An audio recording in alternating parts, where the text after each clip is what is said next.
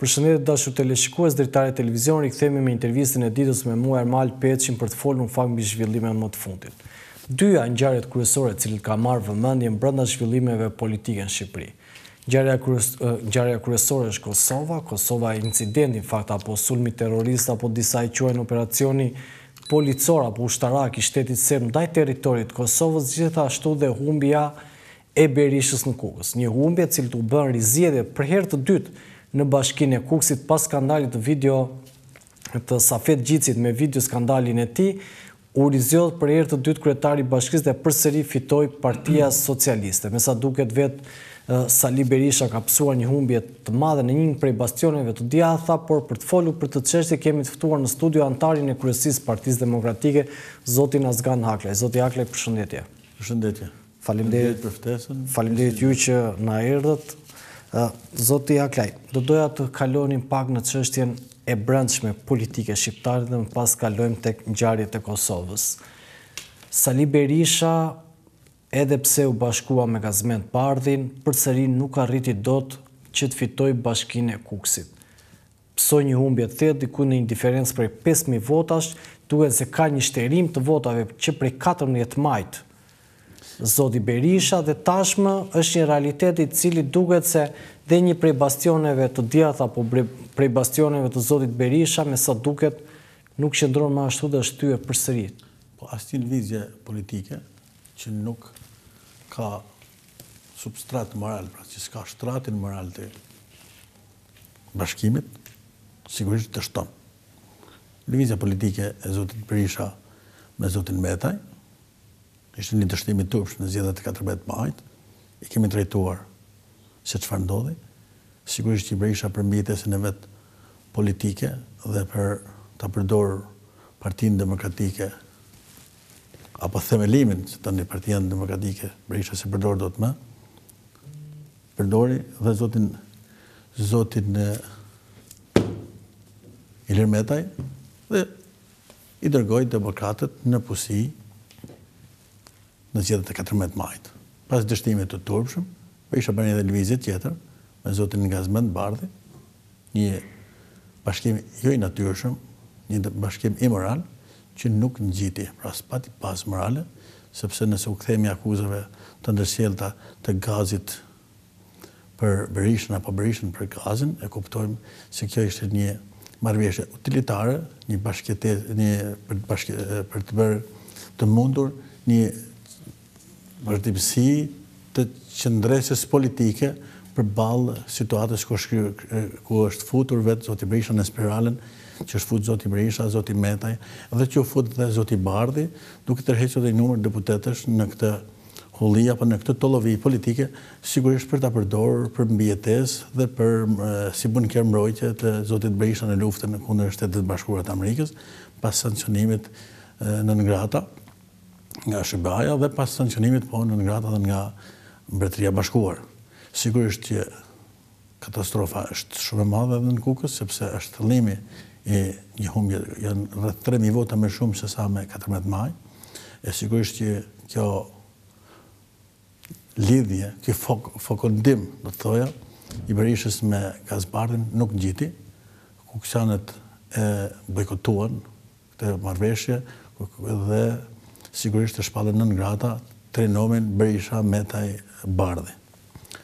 Ishte një rezultat i paracaktuar, sepse dihet që e kam trajtuar dhe në studio të tjera, e kam trajtuar dhe këtu me ju, ishte rezultat i paracaktuar, sepse Berisha e shiti këtë rezultat dhe dihej, domethënë, që do të kemi këtë fund tek oligarku, tek Shefqet Kastrati, të dy kandidatët edhe i Partisë Socialiste edhe i Themelimit kanë lidhje me zotin Kastrati, di që zoti Kastrati është taksidari rrugës së kombit, ka aeroportin e Kukësit, i duhej sigurisht edhe bashkia Kukësit për t'shpallë feudin e vet në Kukës.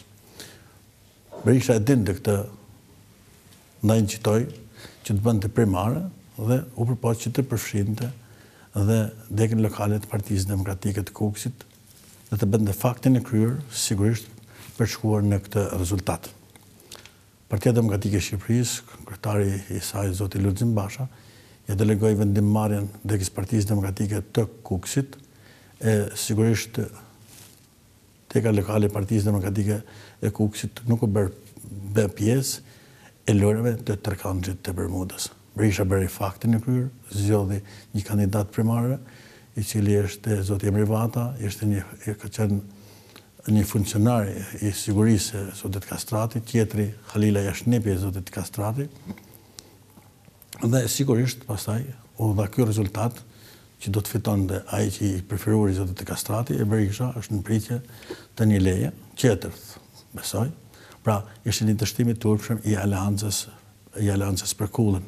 Në fakt, zoti Aglaj, zoti Rexhmati... Në qoftë se, po, po. Do doja për ta parashtruar dhe prandaj doja që të më lini ta thoja, zoti Rexhmati është shprehur që Kukësi është humbur vetë nga Zoti Berisha nuk e ka fituar Partia Socialiste, por janë të pakënaqur, thoshte zoti Rexhmati, me vendimet që vijnë shpeshherë nga Tirana dhe nuk lejojnë bazën të zgjedhi vetë kandidatin që ata duan. Çka do të thotë që a janë lodhur dhe vetë kuksianët me emërimet politike që vijnë nga zyrat qendrore të Tiranës dhe e kanë vdekur garën brenda partisë në këto qytete apo jo vetëm këto qytete, por në çdo qelisë të saj. Po, sigurisht që unë e kam shpjeguar edhe herë tjetër. Safet Gjici, Flamur Noka, Shkëlzen Berisha, Kastrati, i kanë bashkë të gjitha marrëveshjet, pazaret e fshehta, edhe të hapura, të mbyllura, marrëveshjet financiare.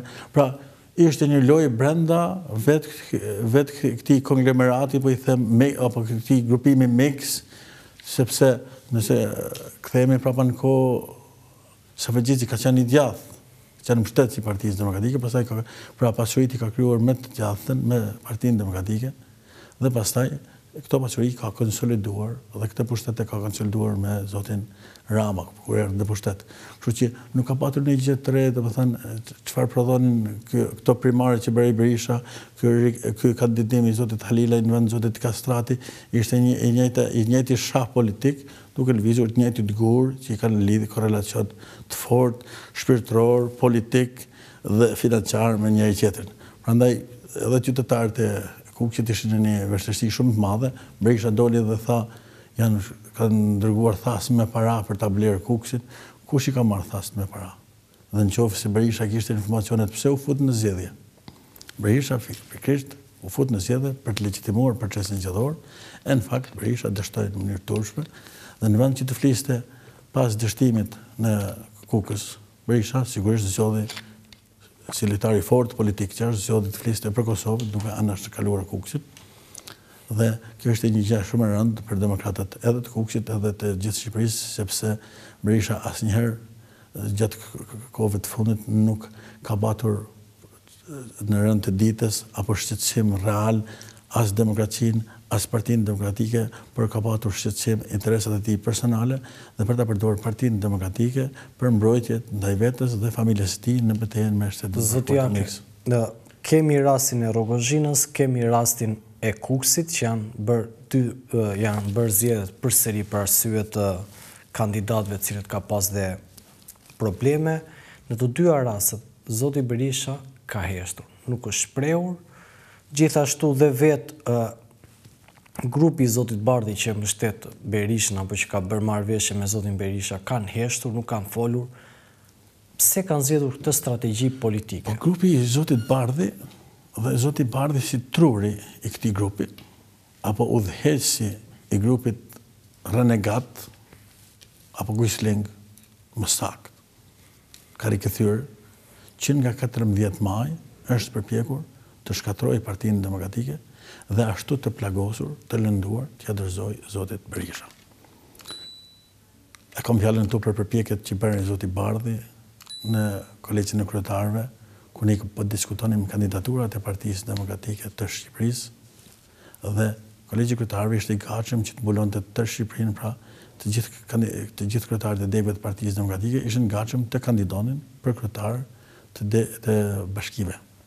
Dhe zoti Bardhi sigurisht që ka qenë mbledhje e maratonë, por zoti Bardhi u, Pasi nuk arriti ta thyente Kolegjin e Kryetarëve, pastaj në kryesi u gjet një zgjidhje tjetër, domethënë arriti të triumfojë për momentin dhe ne mbetëm me katërmbëdhjetë kandidatë, kurse e la fushën e zbuluar sepse u përpoq të krijonte idenë që në ato vende ku dukshëm fajësohemi ne për humbjen e kandidatëve të themelimit, ne s'duhet të kandidojmë. Dhe kjo ishte një qëllim Dashakeqës, ogurzi i zotit Bardhi, i cili synonte ta linte Partinë Demokratike pa kandidat. E kemi trajtuar edhe herë tjetër, dasëm pa dhëndër nuk ka dhe dasma politike ka dhëndër kandidatin, pra për kryetar bashkie. Dhe Bardhi pastaj haptas mbështeti vetëm disa kandidatë që ish, i kishte ideuar ai si kandidat, bashkë me zonjën Tabaku, Sabotuan zgjedhjet e Partisë Demokratike, nuk mbështetën kandidatin simbol të antiberishizmit në Tiranë zotin Roland Bejko, e lanë zbuluar, dhe pastaj qëllimi i tyre ishte që ne të ne të kandidonim siç dhe ndodhi vetëm me me kandidatë për anëtarë të këshillave bashkiakë. Kjo marrëveshje ishte, zotit Bardhi ishte e hershme me zotin Paloka. Ai i kishte premtuar zotit Paloka se ne nuk do të kandidojmë dhe zoti Paloka e ka zbardh marrëveshjen me zotin Bardhi dhe kjo ishte thikë pas shpine ndaj Partisë Demokratike. Pra,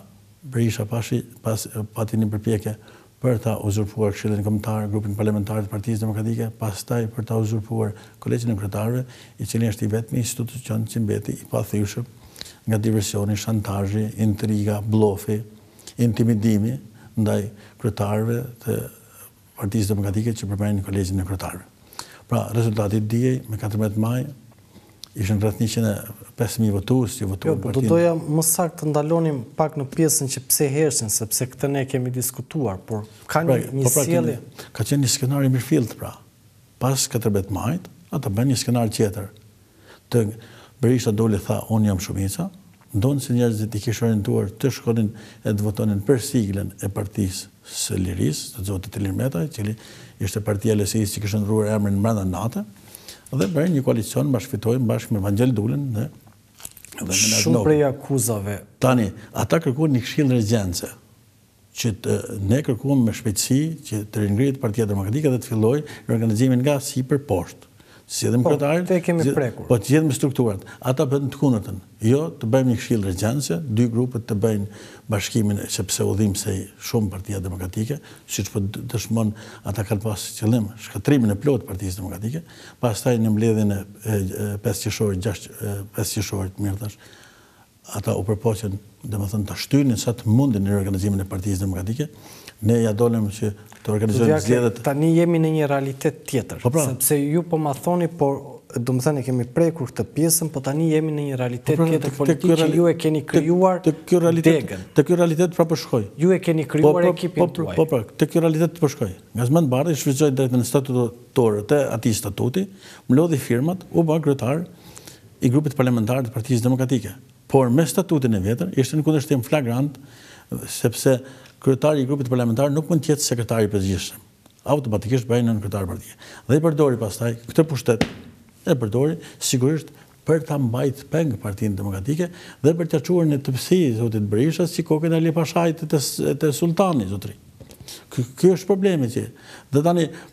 Po loja që po bëhet dhe sot me grupin parlamentar, jo është kryetar, jo s'është kryetar, jo është kryetar.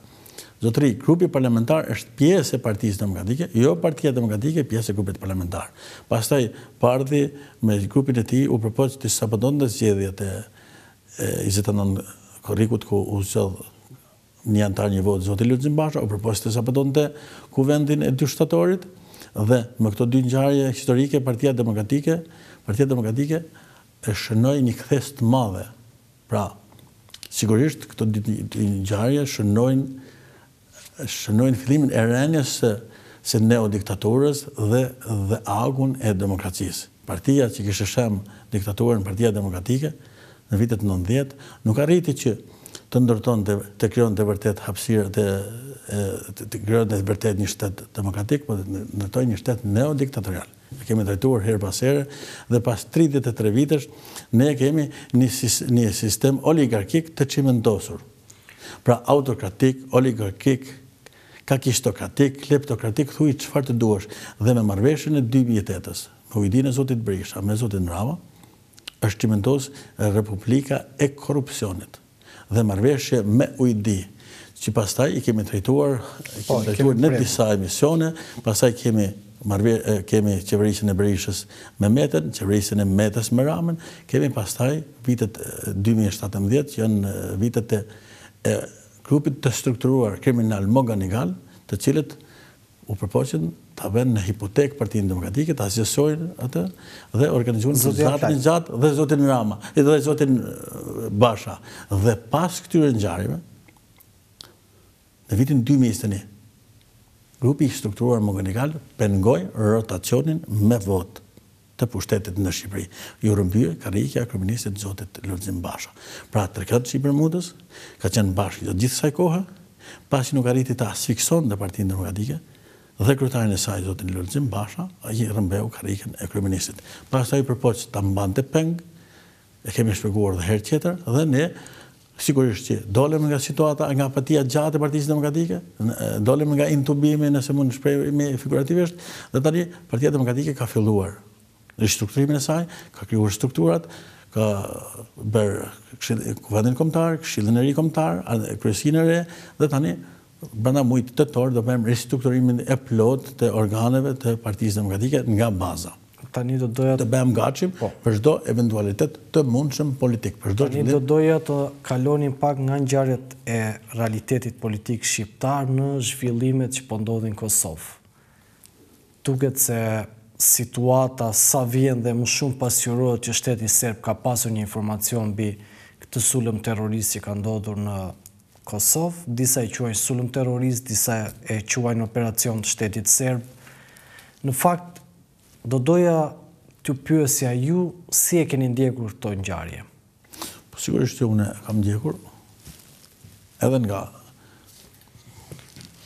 origjina ime nga Malësia e Gjakovës, kontributi edhe i trevës nga vij, edhe i familjes për çështjen kombëtare, lidhjet shpirtërore me Kosovën, çdo zhvillim e përcjell, e përcjell me, me, me kujdes shumë të madh, dhe sigurisht ngjarja e njëzet e katër shtatorit është një ngjarja, ngjarja më e rëndë që ka ndodhur që nga viti 1999. Pse e quaj unë ngjarje të rëndë? Sepse për disa ditë ka patur teza, antiteza dhe tashmë është sqaruar panorama e plotë se çfarë ka ndodhur më 24 shtator në Mitrovicën e Veriut, në Zveçan, në Manastirin e Banjskës e rreth këtij manastiri. Sigurisht që ky aksion ushtarak, e them ushtarak sepse kemi të bëjmë me një njësit elit të pregatitur mirë, të trajnuar mirë, dhe Në bashkëpunim dhe me mbështetjen e shtetit serb, qeverisë serbe. Kush janë tre figurat kryesore të organizimit të këtij sulmi? Ju thoni që shteti serb ka kryekëput dorë në këtë aksion? Skenar i mirëfilltë. Në pamje të parë, të duket se është një kryengritje si kryengritjet e vitit nëntëdhjetë në Kroaci, domethënë Kryengritja apo revolucioni i trungjeve, kur sheh ato barikadat, po pastaj kur e ndjek në detaj, duket që është një operacion i mirëfilltë, me një skenar të të llogaritur mirë. Qëllimi i tyre ishte pushtimi i Mitrovicës së Veriut dhe krijimi i një kufiri tek lumi Ibër dhe destabilizimi i Kosovës. U zgjodh pikërisht Kisha e Banjskës është një manastiri, do të thënë, i Banjskës, po. është një nga tre kishat më të mëdha në Kosovë, është kisha Deçanit, kisha Graçanicës, që është ndërtuar nga mbreti Milutin, kisha e Deçanit nga nga Stefan Deçanski, që është i bir Deçanit, ish i biri mbretit Milutin, dhe dhe Banjska është një nga tre kishat më të mëdha të Kosovës. Qëllimi ishte që pelegrinët që ishin ardhur të vriteshin dhe murgjit që ishin brenda dhe lufta të merrte karakter fetar, siç është dhe lufta në Ukrainë. Pra, ne i kemi ndjekur, ka pasur disa takime të Dodikut me Putinin, i cili u përpoq ta zhvendoste luftën në Ukrainë në Bosnjë, nuk arriti dot, ka patur takime pastaj dhe dhe të Aleksandër Vulinit, shefit të shërbimit sekret, ish-ministrit të mbrojtjes Po që doli dhe non grata. të zotit Vuçiç, që u shpall non grata nga Shtetet e Bashkuara të Amerikës. Ai ka patur një takim me Petrushevin, dy herë madje. Po, që ka qenë në Rusi. Petrushev është Para se të shpallej non grata. Po, po. Petrushev është koordinatori i shërbimeve inteligjente të Rusisë, të Putinit, pra dhe është përdorur ky aksion ushtarak për pushtimin e Mitrovicës, për skenarin Donbas, siç ka ndodhur në Krime në dy mijë e katërmbëdhjetë, dhe për destabilizimin e Kosovës dhe të krejt rajonit. Kemi deklarata kontradiktore të ministrit të Brendshëm, një herë tha 30 veta, pastaj 80 veta, pastaj 90 veta. Unë që në fillim Nga armatimi që është gjetë aty, nga informacionet që kisha nga terreni, nëpër media ka kam shprehur mendimin tim që ishte një mini ushtri elit e cila kishte një program, një projekt të caktuar dhe këta quhen operacione panda. Pra ishte një operacion panda që finalizimi i cilit kërkonte gjak kërkonte kurban, kurbanizimin e kishës, pelegrinëve, të murgjve dhe të realizonte ndarjen e Kosovës veriore dhe pastaj të destabilizonte dhe Kosovën, të krijonte një korridor për të krijonte një korridor për largimin e serbëve të Kosovës se gjoja po po ushtrohet dhunë nga Qeveria e Kosovës, njëkohësisht të bënte dhe çpopullimin, siç ka bërë vazhdimisht çpopullimin e Mitrovicës prej nga shqiptarët e mbetur dhe t'i largonte nga Mitrovica.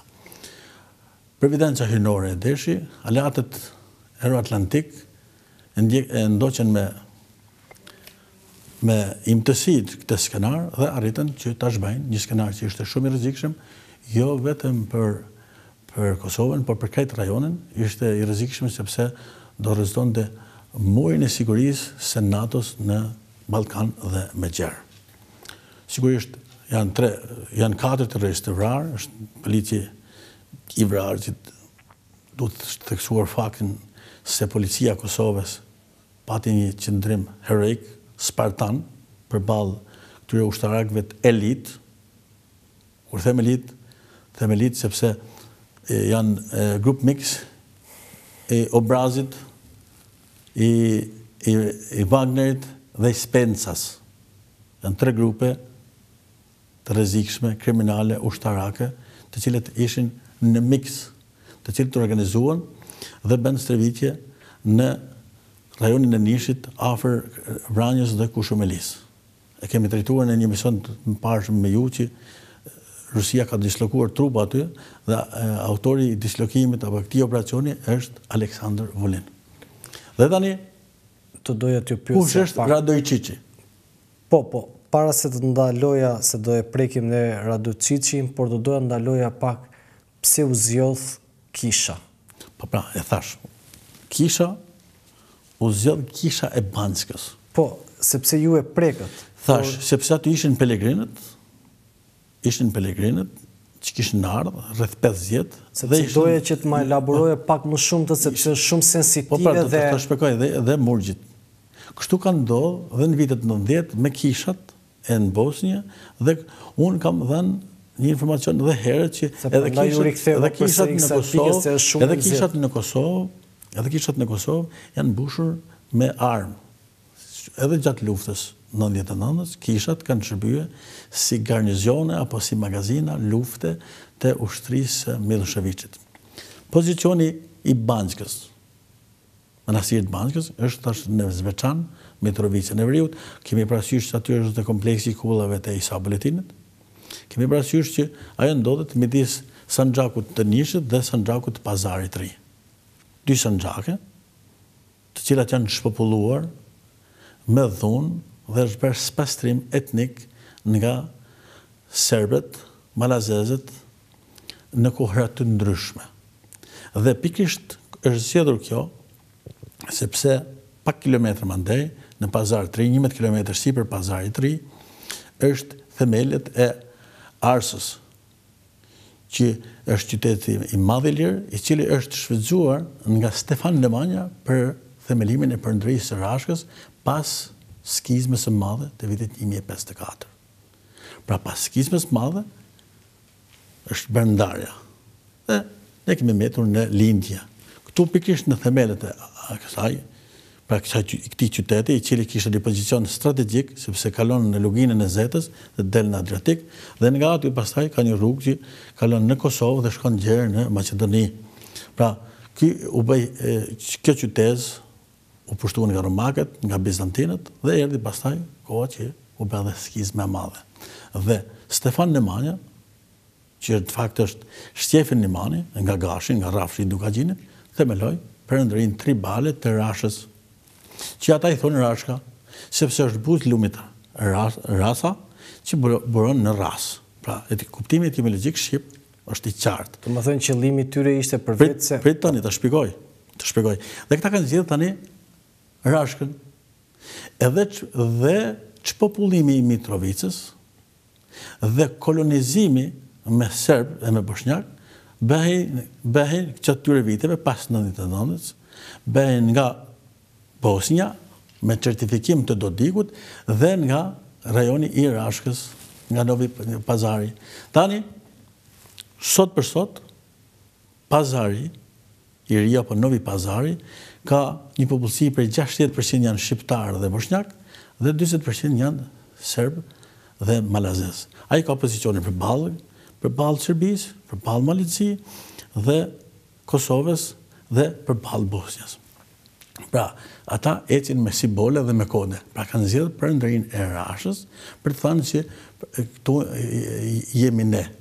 Tani, perandoria e Rashës, e Stefan Nemanjës, sepse peshkopi i parë Sava, i besimit ortodoks tani, sepse ata përfaqësuan këtë përqafuan feudalët shqiptarë, konkretisht Stefan Nemani përfaqësoi përqafoi këtë besim jo për shkak se ishte ortodoks, po për shkak të mbrojtur privilegjet e feudit të vet. Ai kishte mbesën e perandorit bizantin nus grua dhe njëjtën kjo perandori u themelua dikund në 1165-ën. Rreth njëzet vite më vonë u themelua perandoria, mbretëria e Arbrit në në Tiranë dhe Dhimitri, i cili shpalli veten arkond i tokave dhe deteve shqiptare, kishte vajzën e Stjefan Nemanit. Pra, pastaj Stjefen erdhi pastaj u themelua Perandoria e Rashës, e cila në vitin 1216 pushtoi krejt Kosovën. Dhe në manastirin e Deçanit u bë konvertimi fetar e racor. Stefan Deçanski, bëri këtë kishë, dhe Stefan Dushani, i biri i Stefan Deçanskit, që quhet Asfiksuesi, Mbytësi, Asgjësuesi, është autori i kodit të Stefan Dushanit i cili asgjësoi drejtët zakonore shqiptare dhe zëvendësoi me kodin e Stefan Dushanit i cili u zëvendësua më vonë me kodin me kanunin e Lekë Dukagjinit. Pra gjithë kjo hapësirë e kësaj pjese, ata e përdorin për të destabilizuar më gjerë rajonin. Prandaj kemi aty forcat turke, të cilat kanë edhe ata interesat e veta, kemi forcat amerikane dhe kemi forcat shtesë angleze. Përtej është është Vojvodina, që krahinë tani, që e ka uzurpuar me e ka uzurpuar Serbia, që është pjesë e Hungarisë, por në fakt këtë kjo ulësirë ka qenë e populluar nga Iliro-Dardanët, Vojvodina, Mitrovica, Pazari i Ri, Novi Pazari. Dhe nëse shohim në kohra, çpopullimi edhe i Sanxhakut të Nishit ka ndodhur diku në vitin 1878, Pas luftës njëvjeçare një mijë e tetëqind e shtatëdhjetë e shtatë, tetëqind e shtatëdhjetë e tetë, të Rusisë dhe fitores ndaj Turqisë dhe Slogani ka qenë krijimi i Serbisë Jugore apo Serbisë së Re e ka filluar pikërisht nga Nishi, ku janë zhvendosë shtatëqind e dyzet e tetë fshatra, janë deportuar, larguar treqind mijë shqiptarë, kanë vdekë rrugës shtatëdhjetë mijë dhe e kanë shpopulluar krejt rajonin e Nishit. Pikërisht këtu ka nisë Edhe ky aksioni tjetër i Aleksandër Vulin në Kurshumëli dhe dhe në Vranjë dhe trupat e Aleksandër Vuçiçit janë përqendruar pikërisht këtu. Pastaj kemi dhe në vitin dhe në vitin e më vonshme kemi në luftrat ballkanike. Kemi 1912 Aleancën Ballkanike Bullgari, Greqi, Serbi, Malizi, të cilat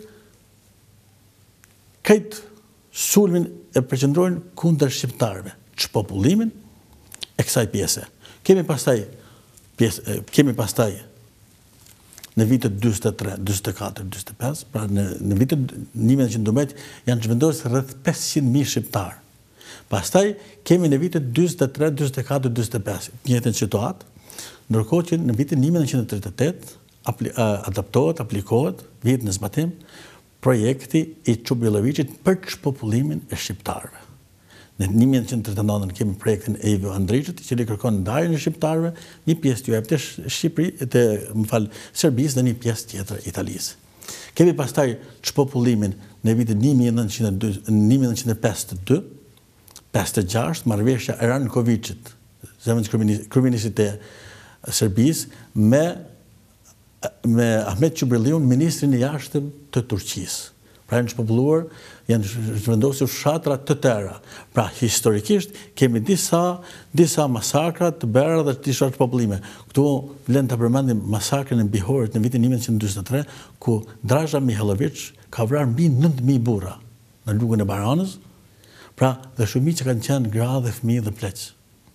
Pra ka pas masakra të jashtëzakonshme dhe kemi masakrën e Tivarit pastaj, që kemi në vitin një mijë e nëntëqind e dyzet e pesë, dhe kjo tregon mirëfilltasi platformën e Serbisë për çpopullimin e trojeve etnike shqiptare, të cilat të cilat janë të udhëhequr thashë nga nga Stefan Dushani, si gjyshi i tyre, pastaj më vonë janë të udhëhequra nga Vuk Karaxhiçi, i cili e bëri Serbinë me Kushtetutë rreth viteve një mijë e tetëqind e njëzet, e bëri edhe me eposin e tyre duke mbledh kangët e Serbisë dhe dhe lejtmotivi apo kryefjala e kallëzuesi i platformës ishte Deri ku shtrihet serbi i fundit është shteti serb.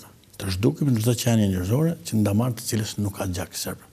Pra, kjo ka qenë platforma që ka ushqyer Serbia kundër shqiptarëve. Dhe kur ka lindur kjo platformë? Ka lindur pikërisht pas ekspansionit pansllavë të ideuar nga Katerina e Madhe dhe Pjetri i Madh, të cilët kërkuan që gjithë sllavët të bashkohen në një shtet të vetëm.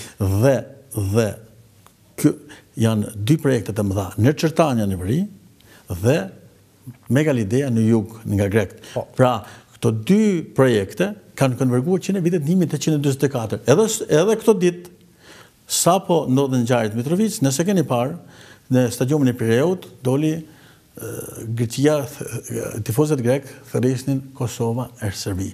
Pra, kemi një projekt pansllav të udhëhequr nga nga Putini, i cili kërkon të destabilizojë rajonin për shkak për të tërhequr vëmendjen nga Ukraina.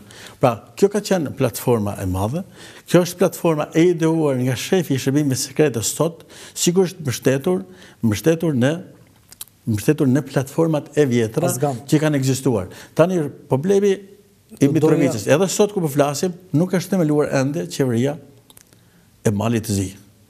Në qoftë se i rikthehemi edhe një herë vitit 2017. Do doja të ndalonim pak sepse... Jo ta shpjegoj se... Sepse edhe për qytetarët se ju keni dhe dhënë shumë informacion sa ngarkohen dhe kjo është pjesa jo, që dua ta kanalizoj jo, pak. Jo, shqiptarët kanë nevojë për për këta, sepse i kemi trajtuar dhe jo, po shumë opinionistë kanë këndështuar. Në vitin 2016, Në tetor të vitit dy mijë e gjashtëmbëdhjetë, ka patur një tentativë për grusht shteti në Mal të Zi, kapjen peng të Gjukanoviqit dhe grushtin e shtetit dhe për ta ndaluar futjen e Malit të Zi në NATO. Tani, kemi në vitin dy mijë e shtatëmbëdhjetë, ndalimin me një urdhërarrest të një entiteti shtetëror që nuk ekzistonte, të zotit Ramush Haradinaj, simbolit të lirisë dardane në Kolmar të Francës, i cili kishte bërë një betejë të stërgjatur rreth tetë vite në Gjykatën e Hagës dhe kishte arritur të ngadhnjente mbi drejtësinë, pra të çertifikonte kauzën gjashtëqind vjeçare të të Dardanisë antike dhe të shpallte pra vendimin e domethënë luftën e drejtë të UÇK-së. Kemi tentativën për ta përgjakur parlamentin e Shkupit, ishte organizuar vrasja e njërit prej simboleve të Maqedonisë, zotit Ali Ahmeti, që e kemi parë të skena të dhunshme, ku gjakoset Ziadin Sela e po. tjerë, dhe kemi përpjekjen për ekzekutimin fizik të zotit Lulzim Bashën në Tiranë. Dhe Garda e Republikës në atë kohë, në kohën e çatës, mori masa të forta për ruajtjen e udhëheqësit të opozitës. Pra pas disa vitësh, dhe në atë kohë, ne sqarojmë që në 2017, kemi dhe grupin e strukturuar kriminal ndërkombëtar McGonigal. McGonigali vazhdonte platformën e Mark Rosinit, i cili ishte një edhe ky oficer i FBI-së, po ishte agjent i Rusisë, të cilët së bashku me Deripaskën po përpiqeshin të jetësonin skenarët strategjik të të Rusisë në në në rajonin, në Gadishullin Ilirik. Edhe sot, për shembull, mund të rrezikohet Mali i Zi sepse ende nuk ka qeveri dhe atyre u intereson jashtëzakonisht përhapja e konfliktit sa më gjerë në Gadishullin Ilirik. Ky është problemi pra, skenarët janë të shumtë, por Shtetet e Bashkuara të Amerikës, Mbretëria e Bashkuar e kanë ndjek me shumë vëmendje Dhe tani më nuk ka këshillime për Vuçiçin, por i kanë dhënë urdhër të prerë të largojë trupat ushtarake të cilat i kishte përqendruar në kufirin me Kosovën dhe në Kurshumli dhe në Vranjë, dy zona të Sanxhakut. Po do doja të ndaloja pak tek profili i Radojçiçit. Po. Njeriu i cili ishte nënkryetar i Listës Sërpska dhe një nga njerëzit i cili në përgjithësi ka qenë aty për të sjellë trazira dhe thuhej që ai komandonte botën e errët serbe në veri të Kosovës ku shpesh herë bëhej kontrabandë dhe bëheshin shumë punë të jashtëligjshme.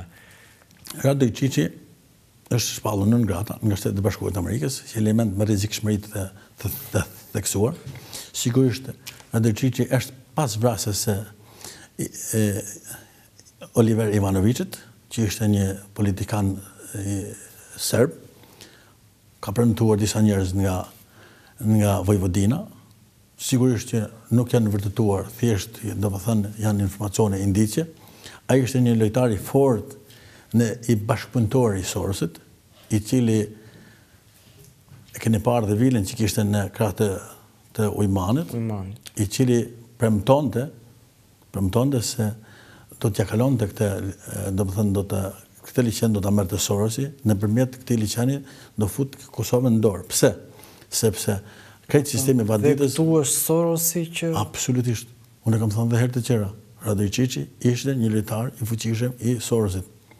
Prandaj është i paprekshëm dhe sot. Tani ai doli dhe mori përsipër krejt përgatitjen logjistike të këtij aksioni ushtarak. Doli Vuçiçi dhe u bë zëdhënës i Radojçiçit, sepse ne do të shohim që do të përplasen këto tre figura.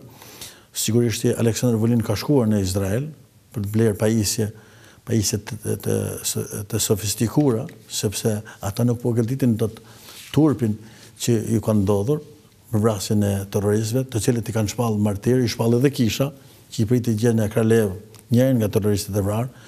Duhet të mos harrojmë që njëri nga terroristët e vrarë është ish-truproja e Aleksandër Vulinit.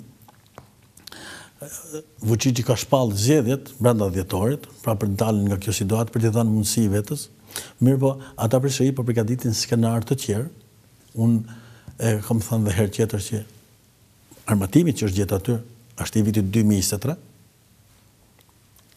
Është armatim i sofistikuar, deri aty sa ka mitraloz me nitroglicerinë. Sasia e armatimit e gjetur është të paktën për 200-250 ushtarë, që do të thotë është një ushtri, mini ushtri, e cila kishte... Është një divizion. Po, është një divizion që kishte, kishte si synim pra, të mos përsëritim fjalët, të bënte ndarjen e Mitrovicës së Veriut dhe të destabilizonte edhe dhe Kosovën. Mos harrojmë që ndodhi edhe ngjarje në Armeni, apo jo? Ndodhën edhe akte terroriste në, po, Turqi, pra konflikti, domethënë fenomeni terrorizëm tani po përhapet pothuajse në gjithë rajonin. Dhe pa diskutim si financimi i këtij terrorizmi është Rusia. Në këto kushte, në këto kushte, Edhe kryetari i Partisë Demokratike të Shqipërisë dje ka bërë një panoramë të qartë, plotë, ka folur edhe si politikan edhe si patriot edhe si nacionalist edhe si jo si paternalist po si një vërtet një një politikan kalibri dhe një njeri i informuar mirë për çfarë ka ndodhur në në Mitrovicën e Veriut. Dhe sot kërkohet me ngut që Kosova të bëhet pjesë e NATO-s, Sot kërkohet me ngut që Parlamenti i Shqipërisë të unifikojë, të, të, me tamam të bëjë atë deklaratë që ka bërë Parlamenti i Kosovës, sigurisht në bashkëpunim me Shtetet e Bashkuara të Amerikës, me aleatët ndërkombëtarë, pra të certifikojë deklaratën e Parlamentit të Kosovës dhe të kundërshtojë atë që kërkonte kryeministri i Shqipërisë, zoti Rama, që KFOR-i të marrë kontrollin e veriut të Kosovës. Sigurisht që Veriun e Kosovës duhet ta kontrollojë Policia e Kosovës në në harmoni të plotë, në akord me me KFOR-in dhe me Eulexin, sepse nëse ti çon KFOR-in dhe dhe rikthen rezolutën dymbëdhjetë e dyzet e katër do të thotë ti zhbën shtetin e Kosovës. Sigurisht Qeveria e Kosovës duhet ta kthejë qëndresën heroike të Policisë së Kosovës, duhet ta kthejë në triumf diplomatik dhe dhe politik. Sepse mos harrojmë edhe një gjë tjetër, kjo ngjarje duhet të ketë hetim ndërkombëtar. Sigurisht e kam ndjek me vëmendje deklaratën e zotit Haradinaj, i cili kërkon hetim ndërkombëtar dhe është shumë e rëndësishme që të hetohet ndërkombëtarisht për çfarë ka ndodhur, se mos harrojmë se pas shpalljes së përgjimeve, kryetarja e grupit parlamentar të Vetëvendosjes me Radojçiçin komunikonte. Ka patur dhe takime edhe në Greqi, edhe Eljona Mihali, ka patur edhe ajo deputetja Vuçiç që kanë bërë një platformë të përbashkët, sepse mos harrojmë se edhe Karathano në Greqi kërkoi që të, të bëhen ngjarje të koordinuara pan-sllave. Pra, u krijua një bosht Himarë Mitrovicë. Cili është skenari në jug? Jemi përballë një ngjarje shumë të madhe, censusit, dhe krejt strukturat greke janë të angazhuara që në Himarë të arrihet 20 përqindshi i deklarimit shtetas grek. Të arrihet dhe në Konispol. Kemi dy komuna të tjera Dropullin dhe Finiqin dhe u shtohen dhe dy komuna të tjera që arrihet pra njëzet përqindshi dhe pak vite më vonë do kërkojnë njëjtin skenar pra asociacion në jug të Shqipërisë siç është asociacioni në veri të Kosovës. Pra ngjarjet janë të koordinuara dhe është krijuar natyrshëm një bosht Himarë Mitrovicë. Mos harrojmë se kemi kandidatin. për kryetar bashkie zotin Fredi Beleri, që nuk e ka portretin kriminal të barabartë me me zotin Radojçiç, por në mision është i njëjti. Radojçiçi sulmoi Policinë e Kosovës, mori përsipër këtë aksionin, Fredi Beleri ishte pjesëmarrës, pavarësisht se nuk u vërtetua në masakrën e Peshkëpisë, Fredi Beleri ishte i dënuar për dhunimin e simboleve kombëtare dhe i cili u dënua por shkoi në Greqi dhe nuk dhe u kthye pas pas parashkrimit të veprës penale. Pra, a janë simetrike? A kanë të njëjtin mision? Ai ka shpallur Vorio Epirin, Zotëria donte të shpallte Donbasin, pra të bënte siç ndodhi në Krime. A e kanë frymëzimin atëherë që nga fillimi i ekspansionit, ekspansionit të treqind vjet më përpara, pra të Pjetrit të Madh, të Katarinës së Madhe, për krijimin e pansllavizmit?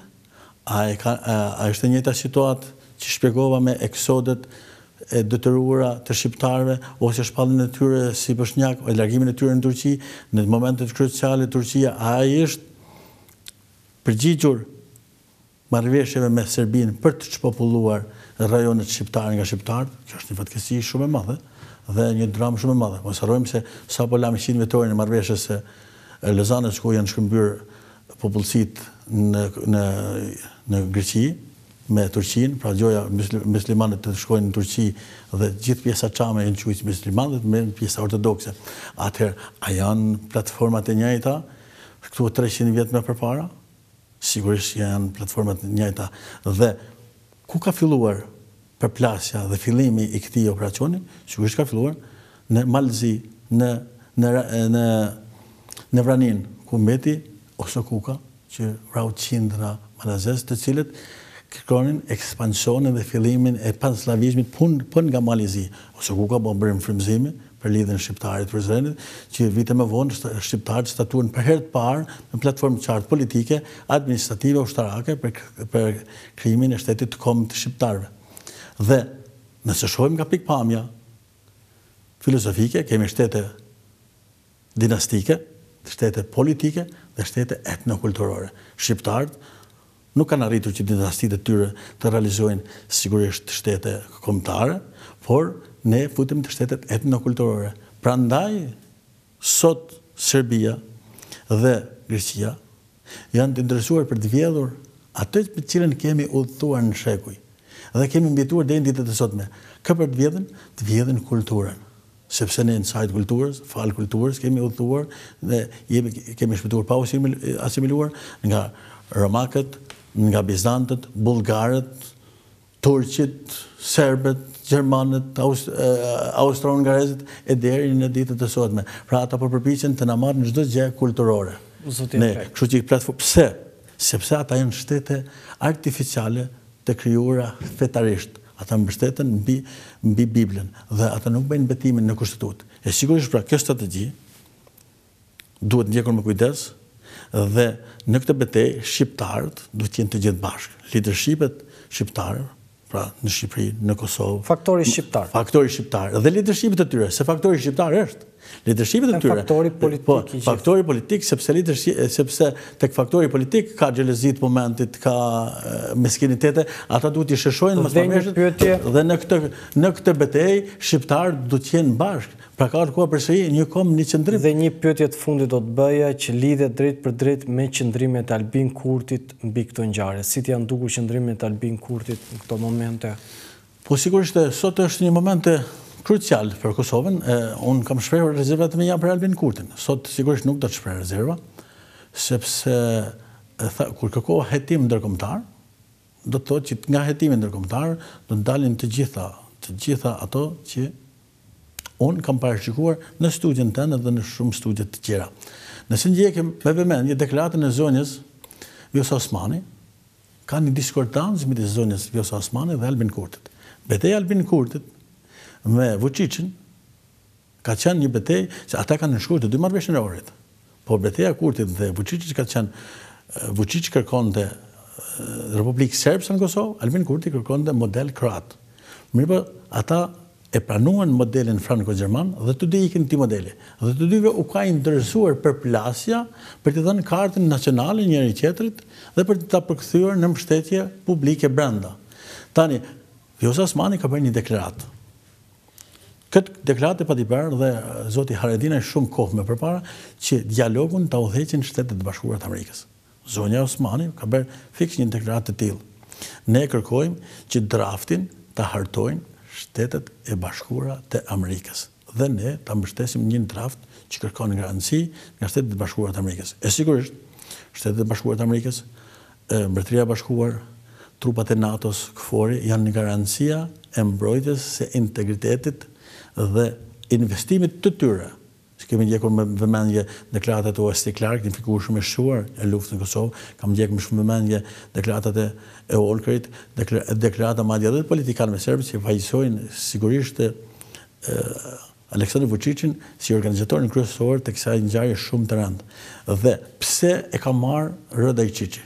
Radojçiçi e ka marrë përsipër sigurisht për të shpëtuar shtetin serb. Dhe Përcaktimi i grupit të strukturuar terrorist është ndihmë për Vuçiçin, sepse grupi terrorist është i shkëputur nga shteti. Ky është një grup një grup shtetëror, sepse është stërvitur nga krerët më të lartë të shtetit serb, nga vetë presidenti dhe nga shefi i shërbimit sekret. Dhe është plani është hartuar në Moskë. Nga Putini, thashë nga koordinatori, e theksoj edhe një herë, i shërbimeve sekrete të Rusisë, Patrushev. Pra, nuk është kjo një ngjarje thjesht një akt terrorist dhe iu tek atyre dhe sepse Vuçiçi një herë u përpoq ta quante zemërim të serbëve të Kosovës, pastaj tha pa dijeninë time, tani ata i mori përsipër, të gjitha i mori përsipër Radojçiçi. Por, nëse Deklaratat janë të sinqerta, atëherë Radojçiçi duhet t'i dorëzohet drejtësisë. Sepse ka dhe një moment shumë delikat, largimi i disa terroristëve nga vendi i ngjarjes.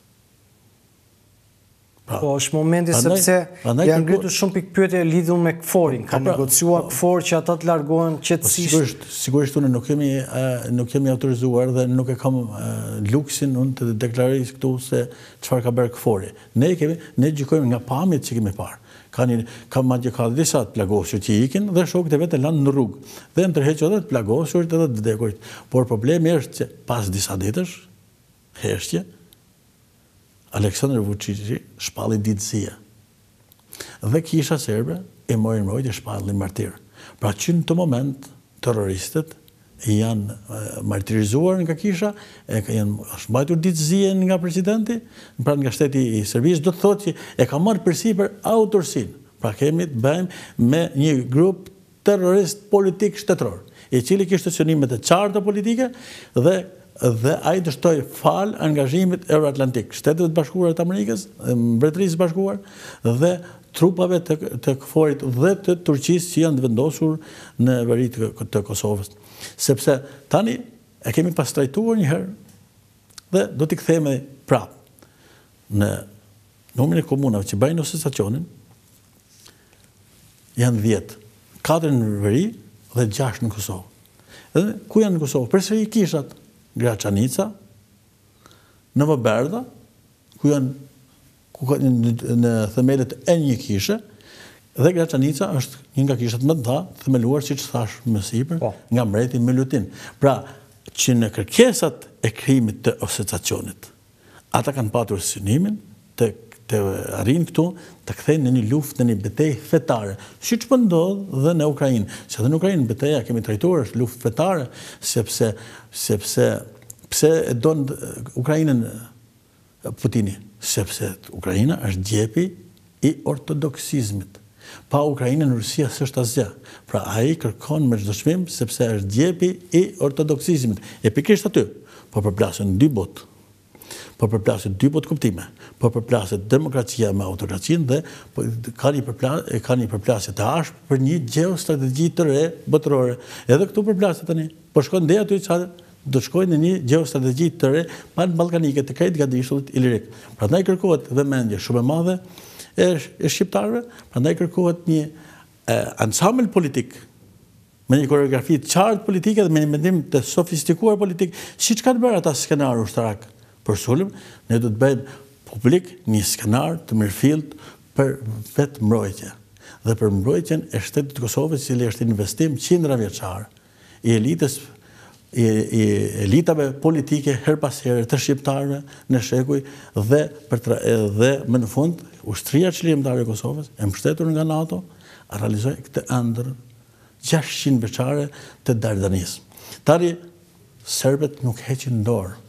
Skenarë të tjerë do të kemi. Pavarësisht se Aleksandar Vuçiq ka deklaruar se kam tërheq trupat, ka tërheq rreth tre mijë e pesëqind trupa, sepse shtatë mijë e pesëqind ishin të vendosur, por katër mijë trupa janë ende.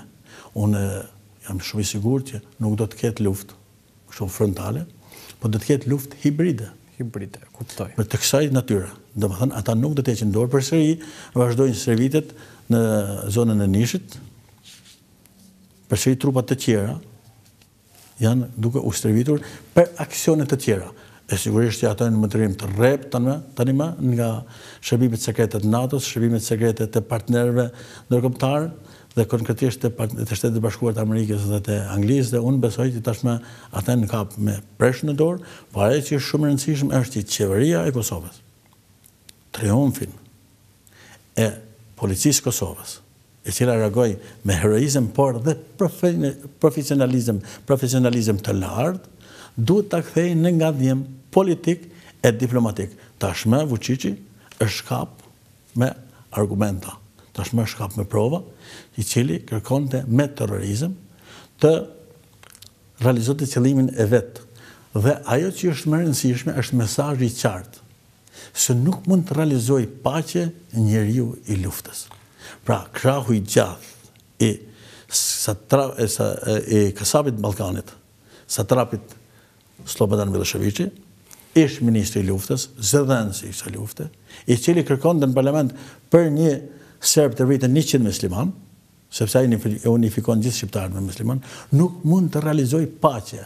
Ai ka mashtruar gjatë gjithë kohës dhe komuniteti ndërkombëtar e ka toleruar për shkakun se ka patur një mendim se mund ta kthejë në krahun e vet dhe ta rreshtojë në mbrojtje të Ukrainës përballë Rusisë, por në fakt tashmë ai ka mbet në prehrin e Rusisë.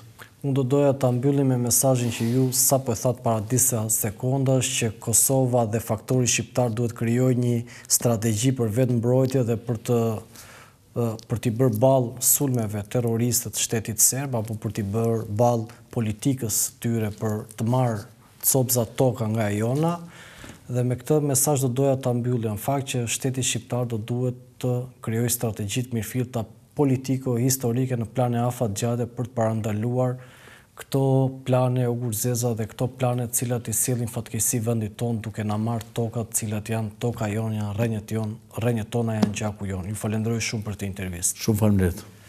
Dashur teleshikues duke ju rikujtuar të bëni subscribe në Dritare Televizion nga unë Ermal Peçi mirupafshim.